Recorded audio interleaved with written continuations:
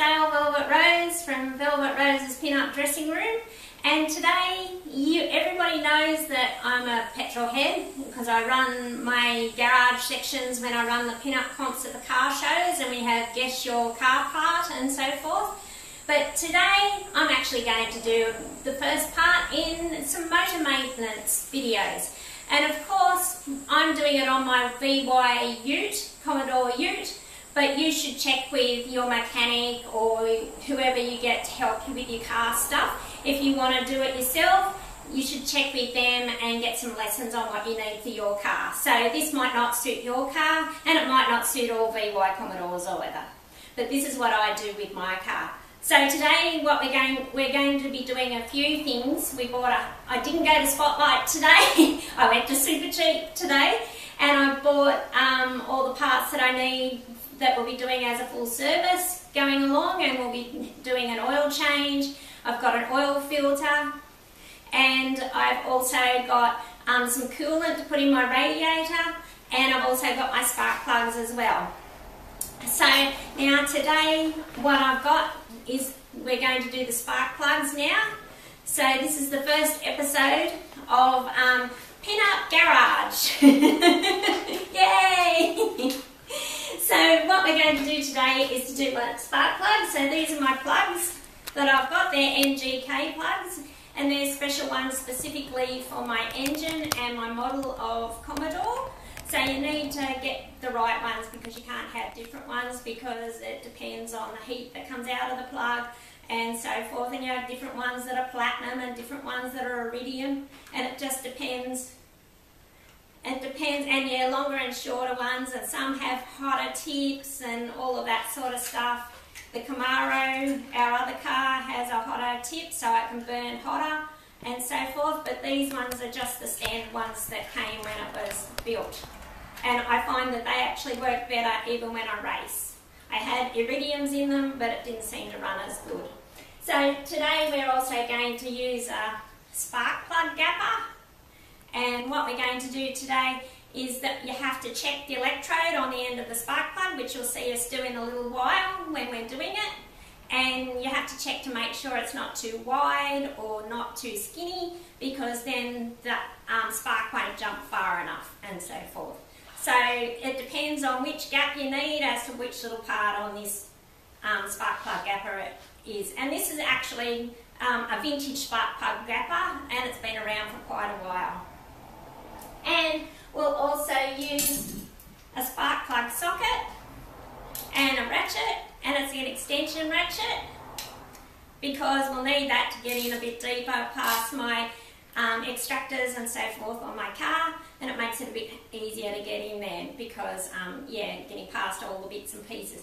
And you also make sure that your car's not hot when you do it otherwise all of the bits and pieces like your pipes and so forth will be hot and we also have this speed brace that we can use to actually make it go a bit faster because it's easier with the bend in it to make things happen a bit quicker when we're working on the spark plugs. So we're about to move to the garage now. I'm up to my VY ute and we'll do a bit of spark plug work. Thanks!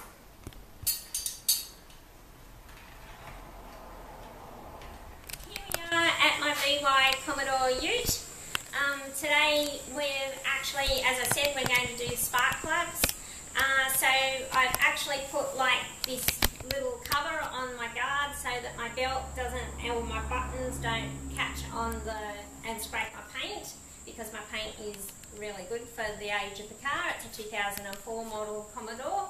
Um, so what we're going to do is do the spark plugs on the passenger side of the car first and because we've got this big airbox in the road, we have to get that out of the road first.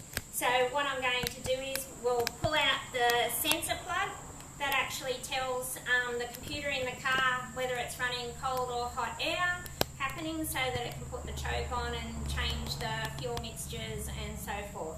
So we'll take that plug out. It has like a little tang on it that you pull back and pull out.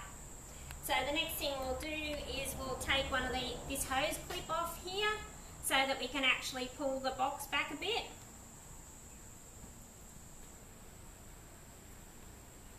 So we just wind that out a bit. You don't need to pull the whole screw out, you just need to loosen it so that you can get the hose clip loose and pull that off. And now what we actually have to do is to unclip the little clips on the airbox lid and you don't have to take the whole airbox out, just the lid and the assembly that goes into the throttle body. I think there's, oh no, there's not one over there. And you can just lift it up like that. And now, hopefully, yes, yay! The whole airbox lid comes off. Yay! I got it all right. and we'll pop it over there so hopefully we won't trip over it. And in here is actually, we can check out the, the air filter while we're in here. And this is actually my K&N um, air filter. So I don't replace that, I actually give it a wash and an oil so that it keeps it clean and so forth. But yeah, it's more expensive than a normal air filter, but it actually gives my um, car a bit more air into it, and yeah, I get to keep it for um, thousands of kilometres. So I'll just pop it back in there for the minute, but we'll give it a bit of a bath. Maybe we'll do that in another episode. Okay, so what we're going to do now is to pull the leads off, because you have to pull the leads off, and some of these are a bit stiff on um, the Commodores because they've got springs in them. And Dale's having trouble already. I'll start with the back one first. Oh, oh, got it. And the second one.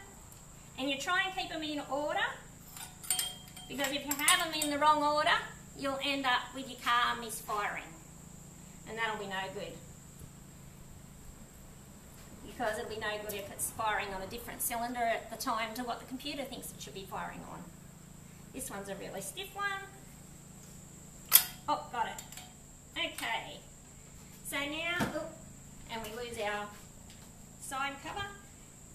So now we actually get our spark plug socket and we've actually only got a short extension. When we did the initial video um, introduction, we actually thought we'd need a longer one, but that's more for like when we do the Camaro. So now we got the short one.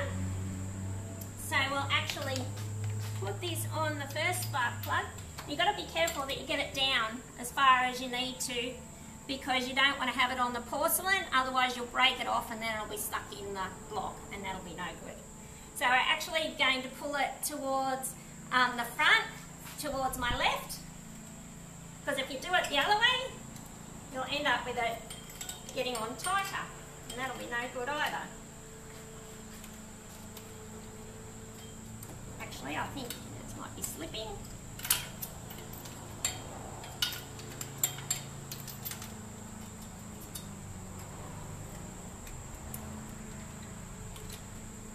Now I've got it. First I felt it slipping so it wasn't on the actual bottom of the spark plug properly. So I'm actually using the little ratchet to make it go backwards and forwards and unwind it so I don't have to go round and round and round if I was using a traditional spanner. I should be able to now, and you try and get it out without dropping it, dropping it under the car.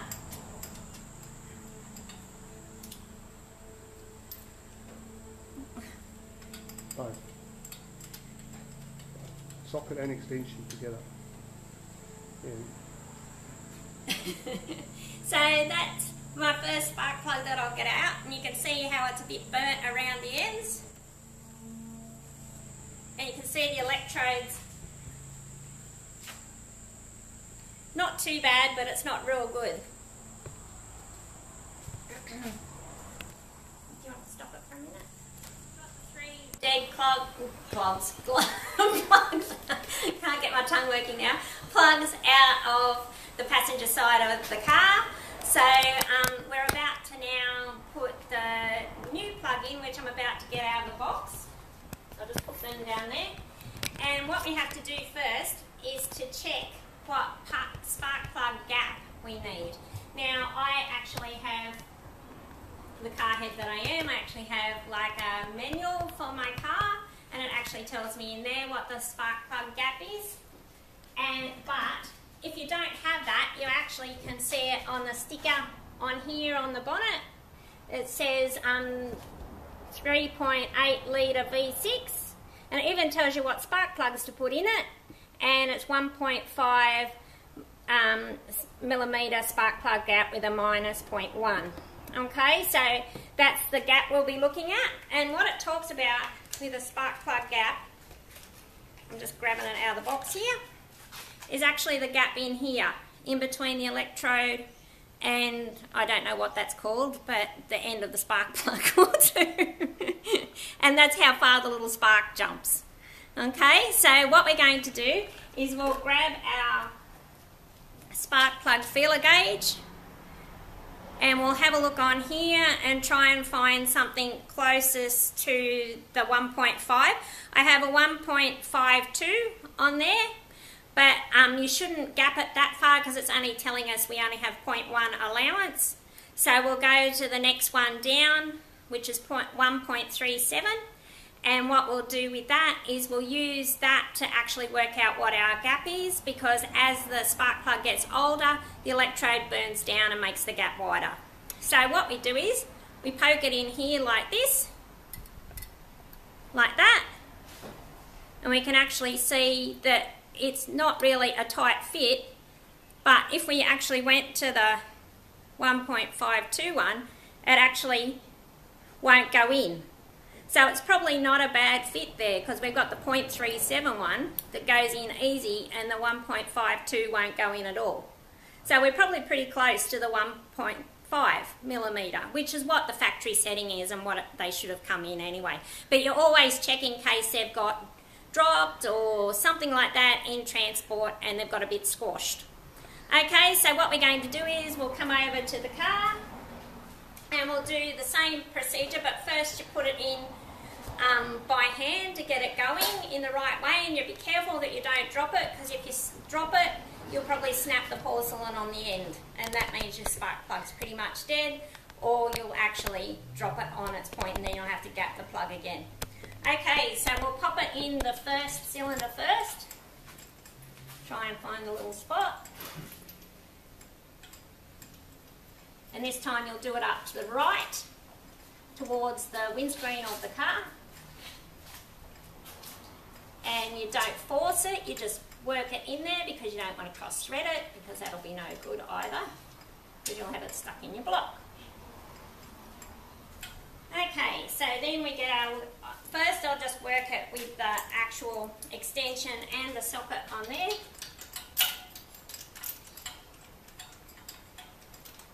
And just get it on there. Come on little spark plug. Okay. I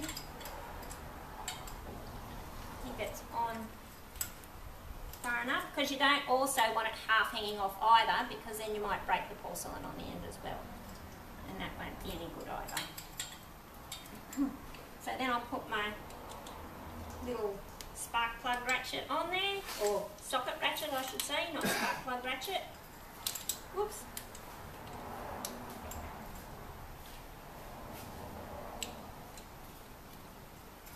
And I'll work it around to the right.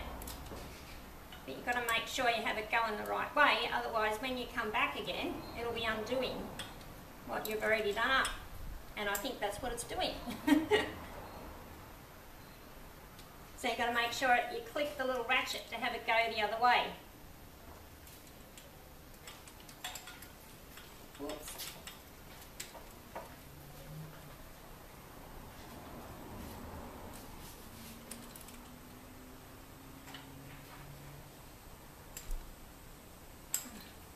Doesn't seem like it's actually on right. Oh, that's something better.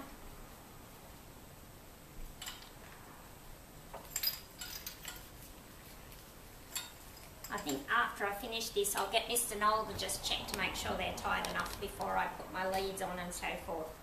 So I'll go on and do the other two, and then we'll come back and I'll show you how to do the others, and put your leads back on and so forth.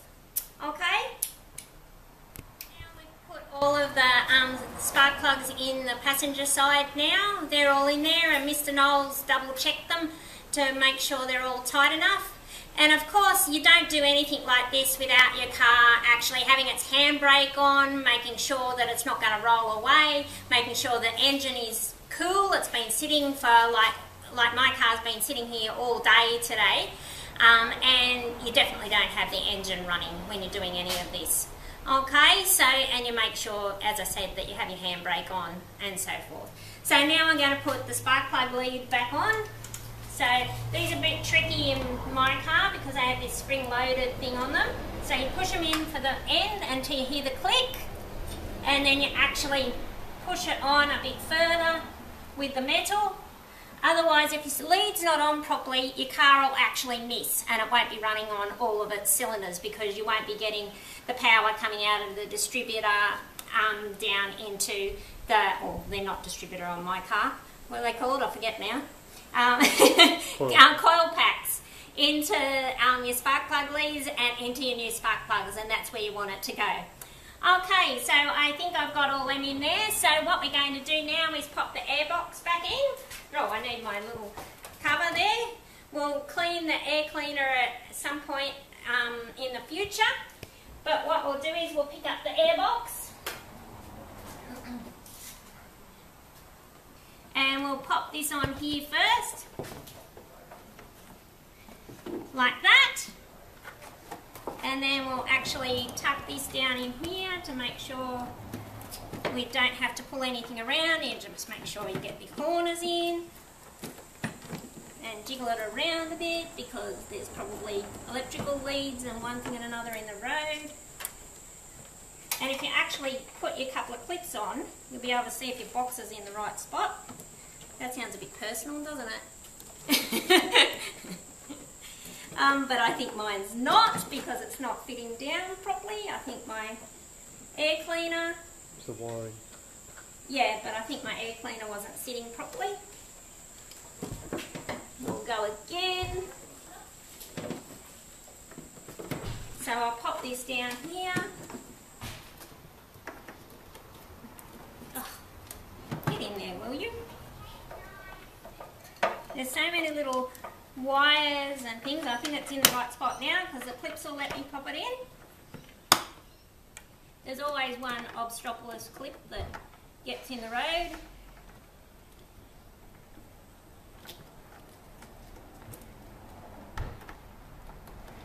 And I think this is probably it. And you might actually need to get the screwdriver wherever I put it now, down here. Oops.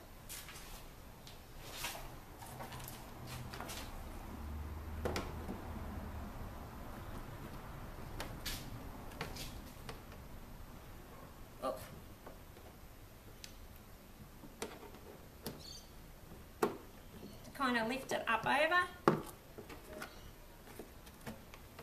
I think I've still got something stuck. Yeah, something's not sitting properly.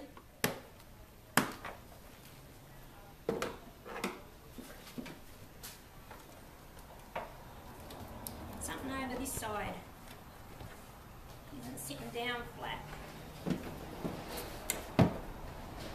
Now I think I've got it. And the coolant bottle gets in the road, that's better.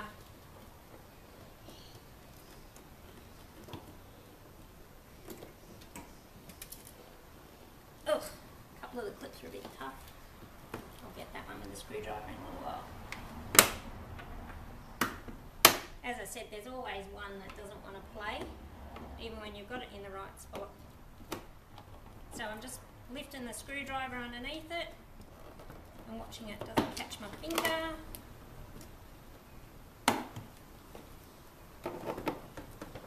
And watch you don't diggle your growler off and the end of the spark. And then I'll screw up my little hose clamp again.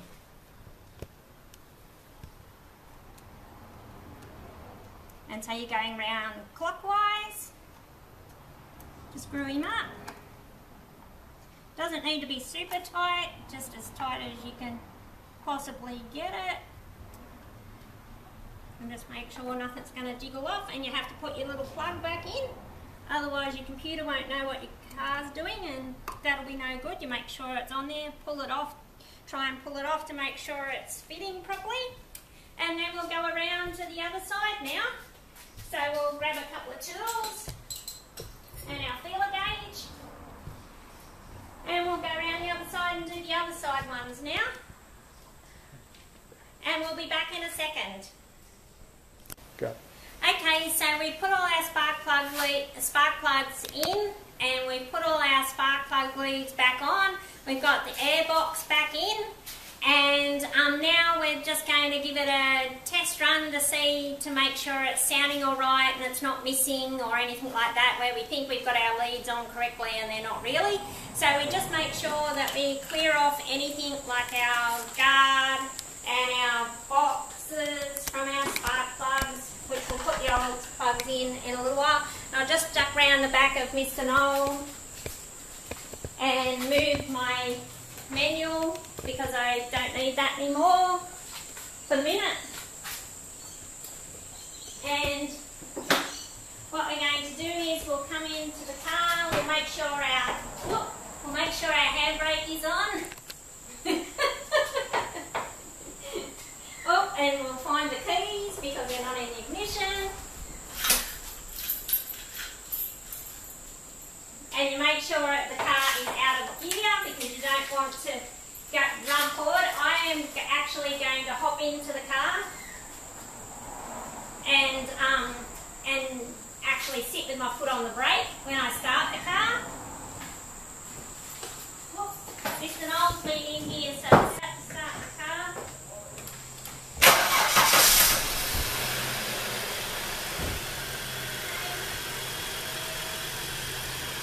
So I'm going to come around and just give it a bit of a rev.